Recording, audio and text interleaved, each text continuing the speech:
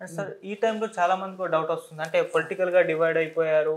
షర్మిల గారు విమర్శలు చేస్తున్నారని ఒక కారణంతో వాళ్ళకి రావాల్సినవి ఇవ్వకుండా ఆపొచ్చు అంటారా అని చెప్పేసి చాలా మంది అనుకుంటారు. ఎందుకంటే వాళ్ళ దారులు వేరు. కాకపోతే వాళ్ళిద్దరు అన్నదమ్ములు. అందరికీ తెలిసిన ఫ్యాక్ట్ అది. అగ్రిమెంట్ కూడా వాళ్ళిద్దరి మధ్య ఉంది అని చెప్పేసి కూడా ఆగస్టు ట్వంటీ నైన్టీన్లో సో మరి ఇప్పుడు ఆ విధంగా వేరైనప్పుడు ఇవ్వకూడదని నిర్ణయించుకోవచ్చు జగన్మోహన్ రెడ్డి గారు ఆ విధంగా? అంటే అది కోర్టు పరిధిలో ఉంది. వాస్తవానికి ఇప్పుడు షేర్ ట్రాన్స్ఫర్ ఫామ్ అన్నీ సక్రమంగా ఉంటే ఓకే. అంటే అది పర్చ్ షేర్ పర్చేజ్ అగ్రిమెంట్ కానీ ట్రాన్స్ఫర్ ఫామ్ కానీ అవి మొత్తము అంటే ఇప్పుడు ఇప్పుడు మనం కొన్ని కంపెనీస్ కంపెనీస్లో చూస్తాం. ఫ్యామిలీ హెల్డ్ కంపెనీస్ ఉంటాయి. ఇప్పుడు గోయంకాస్ ఉన్నారు బజాజ్ ఉన్నది. అట్లా కొన్ని పెద్ద పెద్ద కంపెనీస్ ఏంటంటే ఫ్యామిలీ హెల్డ్ కంపెనీస్ ఉంటాయి. ఓకే. దానిలో కొద్దిగా కొద్దిగా ఏంటంటే అది హిందూ అన్డివైడెడ్ ఫ్యామిలీని ఒక కంపెనీ లెక్క దాన్ని రూపాంతరం చెందింది అని అనుకోవచ్చు మనం. దాంట్లో అట్లాంటి కంపెనీస్లో ఇట్లాంటి ఇష్యూస్ బాగా వస్తాయి. లేదంటే నాకు ఇప్పుడు మదర్ పేరు మీద పెట్టడము లేకుంటే అప్పుడప్పుడు కంపెనీ మేనేజ్మెంట్ కూడా ఇటోట్ అయ్యే అవకాశం ఉంటుంది అప్పుడు.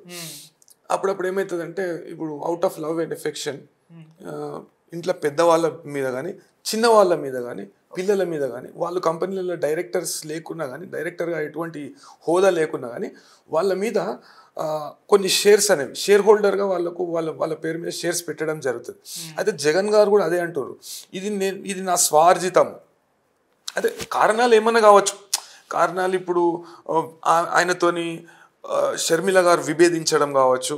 లేకుంటే షర్మిల గారు ఆయన ఆయన మీద వ్యక్తిగత వ్యాఖ్యలు చేయడం కావచ్చు లేకుంటే చ- షర్మిల గారు రాజకీయ పరంగా ఆయన మీద కొన్ని ఏమంటారు కంప్లైంట్స్ చేయడము లేకుంటే నువ్వు సరిగా పని చేస్తలేవు నువ్వు తప్పు ఇట్లా చేసినావు అట్లా చేసిన చేస్తున్నావు అని నిలదీయడం కానీ అది ఆయనకు బాధాకరంగా ఉండొచ్చు. అవన్నీ వ్యక్తిగత విషయాలు. కాకుంటే చట్ట ప్రకారం ఏంది?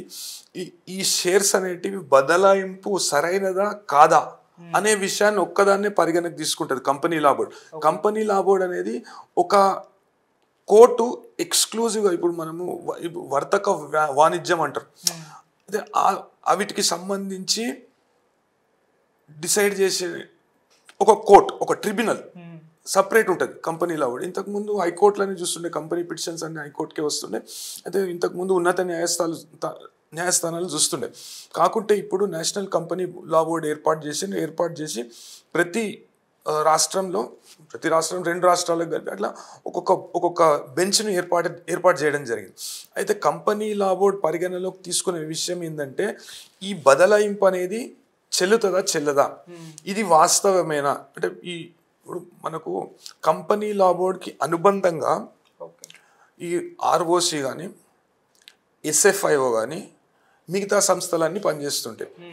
అయితే ఇప్పుడు వాస్తవానికి ఈ పైసలు మొత్తం షేర్లు కానీ నా వ్యక్తిగత ఆస్తి అన్నప్పుడు ఆ వ్యక్తిగత ఆస్తి ఎట్లా వచ్చింది?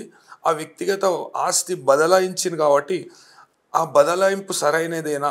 లేకుంటే దీనికి ఈ ఇప్పుడు మన కేసులు పెండింగ్ ఉన్నాయి కదా కేసులు పెండింగ్ ఉన్నప్పుడు ఆ దాంట్లో ఆ పరిధిలో ఉన్న ఆస్తులకు ఈ ఆస్తులు ఏమైనా సంబంధం ఉన్నాయా అనే విషయాలను కూడా చూస్తారు. అయితే ఈ ఆయన ఏమంటున్నట్టే నా స్వార్జితం అంటే జగన్మోహన్ రెడ్డి గారు ఏమంటున్నట్టే నేను స్వయంగా సంపాదించుకున్న ఆస్తి. లేకుంటే భారతి గారు నా భార్య స్వయంగా సంపాదించుకున్న ఆస్తి. మేము ఇద్దరం కలిసి సంపాదించుకున్న ఆస్తులు అవి. మేము వ్యాపారం చేయడం ద్వారా మాకు వచ్చిన దీంతో లాభాలతో కానీ మేము సంపాదించుకున్న పైసలతో కానీ ఒక కంపెనీ పెట్టినాం. ఆ కంపెనీలో నేను కేవలం నా చెల్లె అనే ప్రేమతో లేకుంటే నా తల్లి అనే ప్రేమతో వారి మీద ఈ షేర్లు అనేటివి పెట్టడం జరిగింది. అంటే ఇవన్నీ ఫ్యాక్చువల్ ఆస్పెక్ట్స్ లీగల్ ఆస్పెక్ట్స్ ఏంటంటే ఇప్పుడు మనం పిటిషన్లో ఇది ఏమన్నా రాయొచ్చు. అంటే నాకు ఎందుకు ఎనిమాసిటీ డెవలప్ అయింది?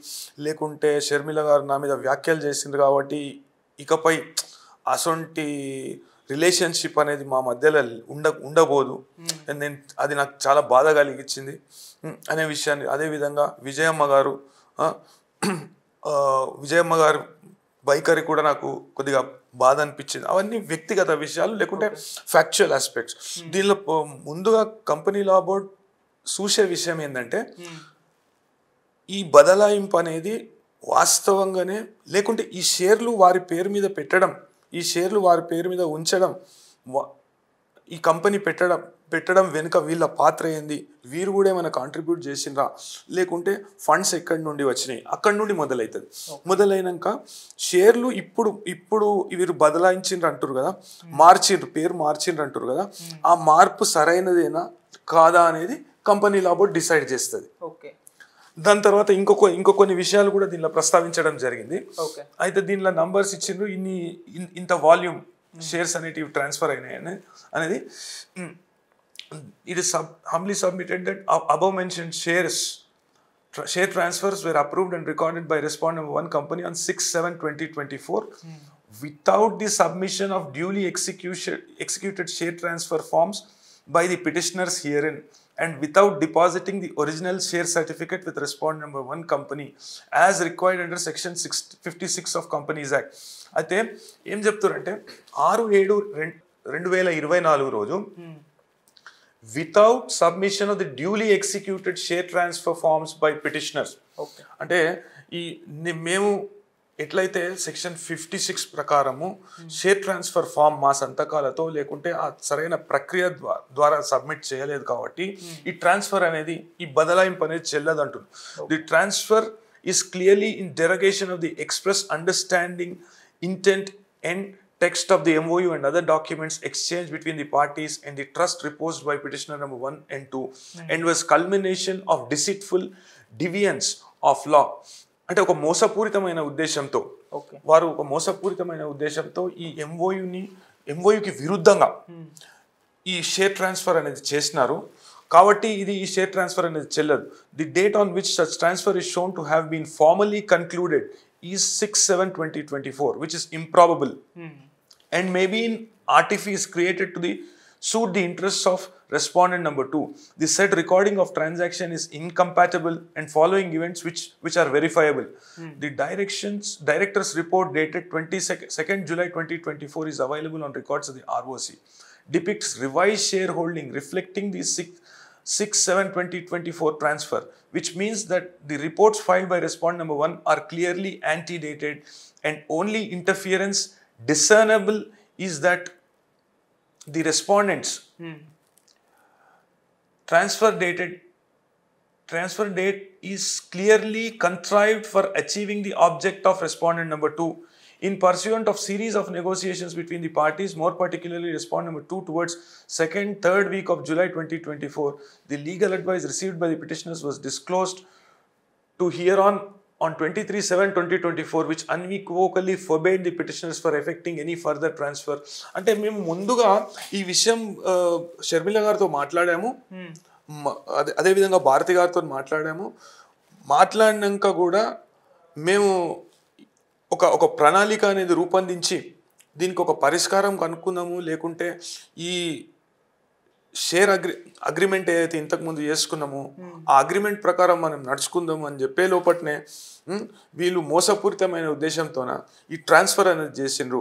కాబట్టి ఈ ట్రాన్స్ఫర్ అనేది చెల్లదనే విషయాన్ని వారు అట్ చెప్పారు ఈ పిటిషన్ని మనం మొత్తం పూర్తిగా విశ్లేషణ చేస్తే ఇంకా ఈ దీనిలో ఏమేమి విషయాలు పొందుపరిచిండ్రు ఎందుకు ఈ ట్రాన్స్ఫర్ అనేది చెల్లదు అని వారు అంటున్నారు అనేది మనం తెలుసుకోవచ్చు. అంటే appalled by the above and also series events of events prior to the same same which no longer sustains the basis for the intent of the MOU the above event which has been brought about while being aware of the repercussions of the petitioners in law and before the courts of law as a last straw which broke the back of the basis of love and affection which petitioner number one had towards respondent number two which formed the voluntary basis of the intent expressed in the MOU అయితే ఒక last resort లెక్క. మేము నా ప్రయత్నాలన్నీ నేను చేసినాను జగన్మోహన్ రెడ్డి గారు దీనిలో అనడం జరుగుతుంది. నేను పూర్తి స్థాయిలో నేను నా ఎఫర్ట్స్ పెట్టినా కానీ రికన్సైల్ అనేది కాలేదు. వాళ్ళు ఒక మోసపూరితమైన ఉద్దేశంతో నేను వాళ్ళ వారి మీద పెట్టుకున్న నమ్మకం అనేది వాళ్ళు వంచిర్రు నన్ను అనే విషయాన్ని వాళ్ళు వారు చెప్పడం జరిగింది. అయితే it is humbly submitted that the provision of section 56 1 of the companies act 2013 reads as under transfer and transmission of securities a company shall not register a transfer of sh- securities of the company or the interest of a member of in the company in the case of company be having no share capital other than the transfer between the persons both of whose names are entered as holders of beneficial interest ఇప్పుడు ఇక్కడ చూడవచ్చు మనం అయితే section fifty సిక్స్కి విరుద్ధంగా ఈ transfer అనేది ఉన్నది అనే విషయాన్ని వారు చెప్తున్నారు కాకుంటే సెక్షన్ ఫిఫ్టీ సిక్స్లో ఇప్పుడు ఏ ఎవ- ఎవరైనా ఇద్దరు వ్యక్తుల పేరు మీద ఆ కంపెనీలో షేర్లు ఉండి ఉంటే ఆ ఇద్దరి మధ్యలో ట్రాన్స్ఫర్ జరిగి ఉంటే సెక్షన్ ఫిఫ్టీ సిక్స్ అనేది వర్తించదని నా అభిప్రాయం. ఓకే. అంటే ఇప్పుడు బయటి వాళ్ళకు ట్రాన్స్ఫర్ చేస్తే సెక్షన్ ఫిఫ్టీ సిక్స్ వర్తిస్తుంది. వి- అంటే కంపెనీలో షేర్ హోల్డర్స్గా ఉండి ఇప్పుడు విజయమ్మ గారు ఉన్నారు. విజయమ్మ గారి పేరు మీద షేర్స్ ఉన్నాయి. షర్మిల గారు ఉన్నారు. షర్మిల గారి పేరు మీద కూడా షేర్స్ ఉన్నాయి. అయితే వారు ఏమంటే వారు అంటే నా నా అనుభవం ప్రకారం వారు చెప్పబోయేది ఏంటంటే మా మా మధ్యలో జరిగిన ఒక బదలాయింపు అనేది సెక్షన్ ఫిఫ్టీ సిక్స్ అనేది అట్రాక్ట్ కాదు అనే విషయాన్ని వారు చెప్తారేమో అని నేను ఊహిస్తున్నా. ఓకే. అయితే ఈ సెక్షన్ ఫిఫ్టీ సిక్స్కి అంటే బేసిక్ ఏమంటారంటే సెక్షన్ ఫిఫ్టీ సిక్స్కి విరుద్ధంగా ఇప్పుడు వారి వారి మధ్యలో జరిగిన వ్యక్తిగత వ్యక్తిగత విభేదాలు వారి మధ్యలో చెడిన వ్యక్తిగత సఖ్యత అనేది కంపెనీల ట్రిబ్యునల్కి సంబంధం లేదు. ఓకే అంటే వారి మధ్యలో విభేదాలు రావచ్చు లేకుంటే వారు సరైన టర్మ్స్లో ఉండకపోవచ్చు. అది అది కంపెనీలో ట్రిబ్యునల్ పరిధిలోకి రాదు. అయితే ఆ విషయాలన్నీ దీనిలో పొందుపరిచిండ్రు. అంటే నేను ఎందుకు అంటగనైజ్ అయినా అంటే నాకు ఎందుకు ఇబ్బంది అయింది ఎందుకు ఈ పిటిషన్ నేను వేయదలుచుకున్నా అనే అనే విషయం చెప్తూ ఈ ఈ ఈ సఖ్యత లోపం కారణం కారణంగా అదేవిధంగా నా నా మీద వ్యాఖ్యలు చేయడము నా నాతో సరిగా ఉండకపోవడం అంటే నా బి ఆమె బిహేవియర్ అనేది విజ్ విజయమ్మ గారు కానీ లేకుంటే షర్మిల గారు కానీ వారు నాతో నా మీద వ్యాఖ్యలు చేయడము నా నా- పరువుకి భంగం కలిగించే విధంగా ప్ర ప్రజలలో మాట్లాడడము నా స్వంత చెల్లెనే లేకుంటే నా స్వంత తల్లిగారే ఇట్లా మాట్లాడడం అనేది నాకు మంచిగా అనిపించలేదు. నాకు చాలా బాధ అనిపించింది. అదేవిధంగా రాజకీయంగా నా ప్రత్యర్థిగా మారడము రాజకీయంగా వ్యాఖ్యలు చేయడం అనేది నాకు బాధ చాలా బాధ అనిపించింది.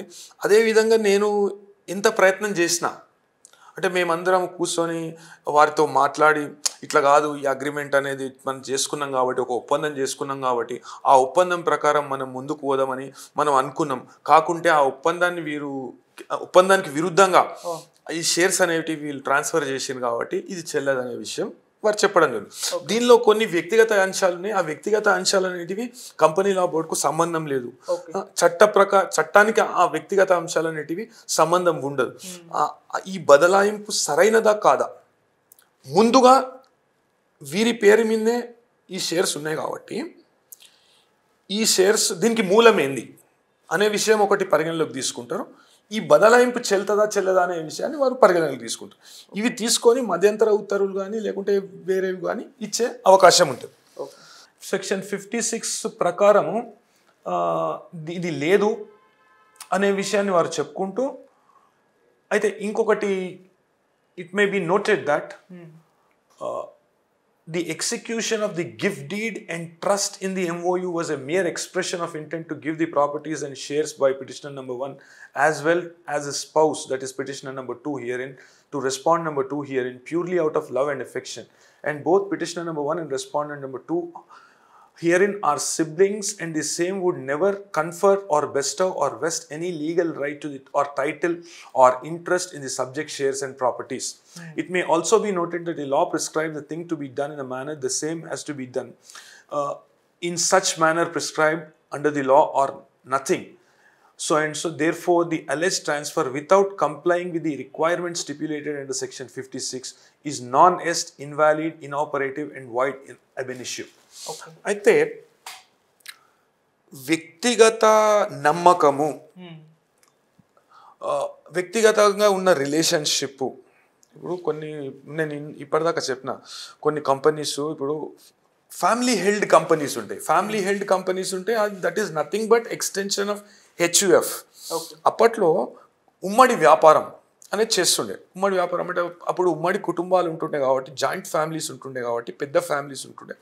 కొన్ని ఉత్తర భారతదేశానికి సంబంధించిన కుటుంబాలు లేకుంటే దక్షిణ భారతంలో కూడా చాలామంది మనం చూస్తాం. వాళ్ళు ఏంటంటే ఉమ్మడిగా ఉంటాయి. అయితే అట్లాంటి సమయంలో ఈడ ఈడేంది? ఈడ మొత్తము ప్రాపర్టీ అనేది డివిజన్ అయిపోయింది. రాజశేఖర్ రెడ్డి గారు ఉన్నప్పుడు ఆస్తుల పంపకం అనేది జరిగింది అనే విషయాన్ని మనం చెప్పడం చూస్తున్నాం. ఉమ్, అదే విధంగా ఇది నా వ్యక్తిగత ఆస్తి పూర్తి స్థాయిలో love and affection. Love and affection కారణంగానే ఈ ఆస్తులను ఈ షేర్లను వారి పేరు మీద పెట్టడం జరిగింది అనే విషయాన్ని మనం చూస్తున్నాం. కాకుంటే వ్యక్తిగత విషయాలు ఎప్పుడు కూడా ఈ లీగల్ ప్రొసీడింగ్స్ అనేవి కేవలం యాభై ఆరులో section fifty six of the act అనేది దాని నుండి ఎట్లా ఏదైనా డివియేషన్ జరిగిందా అనే విషయాన్ని కోర్టు పరిగణలోకి తీసుకుంటుంది. ఉమ్, అయితే దీంట్లో ఒక గిఫ్ట్ డీడ్ అనేది వారు ఇవ్వడం జరిగింది. అదేవిధంగా జగన్మోహన్ రెడ్డి గారు గిఫ్ట్ డీడ్ ఇవ్వడం జరిగింది. అదేవిధంగా ఒక ట్రాన్స్ఫర్ అగ్రిమెంట్ అనేది ఒక ఒప్పందం ఒక మ్యూచువల్ అండర్స్టాండింగ్ అనేది వాళ్ళు రాసుకోవడం జరిగింది. అది అది ఏంటంటే మళ్ళీ నాకు బదలాయించాలి లేకుంటే పూర్తి నిర్ణయాధికారం అంతిమ నిర్ణయం నాదే అనే విషయాన్ని కూడా వారు అంటే నార్మల్గా ఇప్పుడు నేను నేను ఇంట్లో పెద్దవాడిని. అయితే ఏముంటుంది అంటే నీళ్ళు వారే పక్కకు భూమి పెద్దోనికి ఇస్తారు. కొన్ని కొన్ని అంటే తెలంగాణలో ఎట్లుంటుందంటే కొన్ని ప్రాంతాలలో తండ్రి తర్వాత పెద్దోళ్ళ పేరు మీదే భూమి పెడతారు. ఉమ్మడి ఆస్తులు ఉన్నా కానీ అంటే ఉమ్మడి ఆస్తులు అంటే ఆ కుటుంబానికి సంబంధించిన ఆస్తులు. ఆ, భూమి అనేది పెద్దోని పేరు మీదే పెడతారు. అప్- కొన్ని కొన్ని విభేదాలు జరుగుతాయి. అట్లా. అంటే ఇంటికి పెద్ద అనే వ్యక్తి పేరు మీదనే భూమి భూమి పెడతారు అంటే మన పితృస్వామిక సమాజం కాబట్టి మన దగ్గర. కొన్ని జాగాలలో ఏంటంటే ఇప్పుడు కేరళ అక్కడ సైడ్ ఏంటంటే ఇంట్లో ఫ్యామిలీలో లేడీ ఎవరైతే పెద్ద ఉంటారో వారు వాళ్ళ పేరు మీదే పెడతారు భూములు. వాళ్ళది మాతృస్వామిక వ్యవస్థ.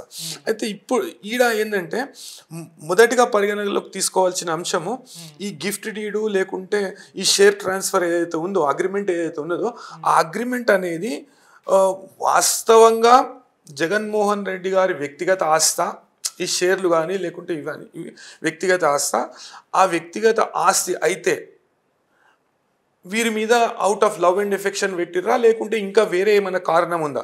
వేరే కారణం అంటే ఏంది? షర్మిల గారు కానీ లేకుంటే భారతి భారతి గారు అంటున్నా నేను మన విజయమ్మ గారు కానీ వారు ఏమైనా కాంట్రిబ్యూషన్ చేసిర్రా ఆ కంపెనీకి అంటే వారు వారు కూడా ఏమైనా ఇన్వెస్ట్మెంట్ చేసిండ్రా లేకుంటే ఆ షేర్ షేర్స్ ఇప్పుడు మనం పర్చేజ్ చేస్తాం షేర్స్ దానిలో అది నోటిఫై అవుతుంది నోటిఫై అయినప్పుడు వారే పైసలు కట్టి ఉంటారు కదా. అంటే వారి అకౌంట్ల నుండే కదా పైసలు పోతాయి. పైసలు పోయినప్పుడు ఇది వీరు అంటే జగన్మోహన్ రెడ్డి గారి ఆస్తి ఎట్లయితుంది అనే విషయం కూడా దీనిలో ప్రశ్నార్థకమే. దాని తర్వాత ఈ ఎంఓయు ఈ ఒప్పందం అనేది వ్యక్తిగతంగా చేసుకున్న ఒప్పందము చట్టానికంటే గొప్పదా అనే ప్రశ్న కూడా ఉత్పన్నమవుతుంది. ఇప్పుడు మనం వ్యక్తిగతంగా what we make an understanding cannot surpass the law legal provision అనేది సర్పాస్ కాలేదు. ఓకే అంటే చట్టం ఒకటి చెప్తే దానికి విరుద్ధంగా మనం ఒక అగ్రిమెంట్ చేసుకున్నా కానీ లేకుంటే మనము చేసుకున్న అగ్రిమెంట్ని చట్టాన్ని కాదని ఈ అగ్రిమెంట్ని మీరు ఇంపోజ్ చేయండి అనే విషయాన్ని మనం చెప్పజాలం అవును అంటే అది చట్టం చెప్తుంది అట్లా కానూన్లో అట్లా ఉంటుంది. ఇప్పుడు మనం ఒక వ్యక్తిగతంగా ఒక అగ్రిమెంట్ చేసుకొని చట్ట ప్రకారం ఒక చర్య చేసినాం ఆ చట్ట ప్రకారమైన చర్య. ఈ నా అగ్రిమెంట్కు విరుద్ధంగా ఉందంటే అది కోర్టులో చెల్లదు అది. అయితే ఈ ఈ విషయాలన్నీ మన కంపెనీ లా బోర్డ్ ప్ర చూస్తుంది. అంటే ఈ మన ఎంక్వైరీ అయ్యేటప్పుడు లేకుంటే కోర్స్ ఆఫ్ ట్రయల్ ఈ విషయాలన్నీ దీంట్లోకి వస్తాయి. అంటే పరిగణలోకి తీసుకోవాలి తీసుకోవాలి కంపెనీలో కూడా. ముందుగా ఇది వ్యక్తిగత అంశం. అంటే వాళ్ళ మధ్యలో ఉన్న వ్యక్తిగత విభేదాలు కానీ వాళ్ళ మధ్యలో ఉన్న వేరే అంటే కొన్ని కొన్ని సమయాల్లో పొరపొచ్చలు రావచ్చు కొన్ని సమయాల్లో విభేదించవచ్చు. అవి కంపెనీ లా బోర్డుకు సంబంధం లేదు. షర్మిల గారు లేకుంటే భారతి గారు ఈ షేర్స్ తీసుకునేటప్పుడు వాళ్ళ పేరు వాళ్ళ పేరు మీద షేర్స్ కొన్నప్పుడు అది వారికి వారికి సంబంధించిన అంశమే. ఇప్పుడు నేను షేర్ కొంటాను నేను షేర్ కొనుక్కోవాలంటే ఒక షేర్ నా మీద